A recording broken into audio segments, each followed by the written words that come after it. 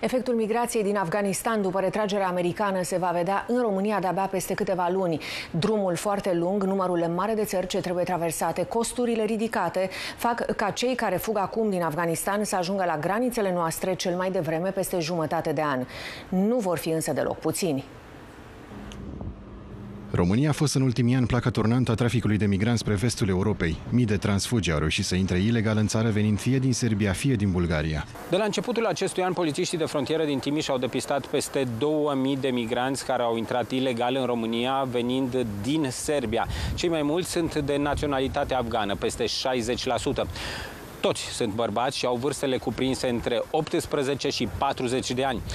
Puțini sunt cei însă care au rămas în Timișoara. Cei mai mulți au reușit să iasă ilegal din țară, ascunși în camioane, au trecut în Ungaria și de acolo mai departe în Germania, Italia sau Austria. Cu toate acestea, mai multe asociații și ONG-uri sunt implicate în a asigura asistența și a ajuta pe migranții care ajung în țară.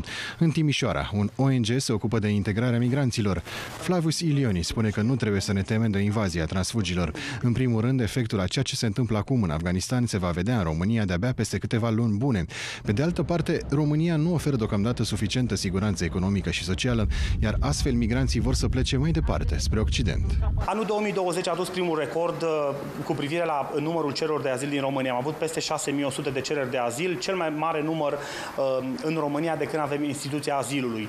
Din acești 6000, mai mult de 3000 au fost uh, cetățeni din Afganistan, care este din nou o noutate, România având în, uh, în trecut cele mai multe cereri de azil din Siria și Irak. Cu toate astea, până la finalul anului, mai spun reprezentanții asociației, ne putem aștepta la 10.000 de cereri de azil în România, cea mai mare parte venind din partea migranților de origine afgană.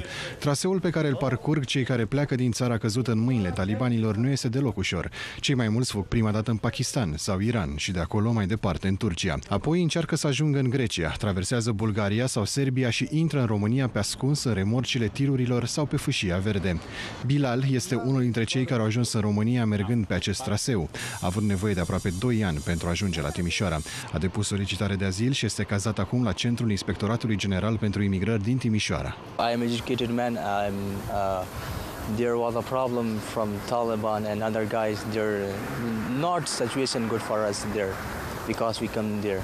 They're killing the peoples, not beating. They're killing the people. For there, uh, we, they're saying we're uh, Muslim. They're come America. We're battle with America, but not they're battle with America. They're battle with uh, uh, Afghani peoples. They're killing Mare parte dintre rudele lui au rămas în Afganistan, în regiunea Jalalabad. Nu mai știe nimic despre ei de câteva zile bune, deși a încercat să-i contacteze. Este teamă de ce le-ar putea face talibanii.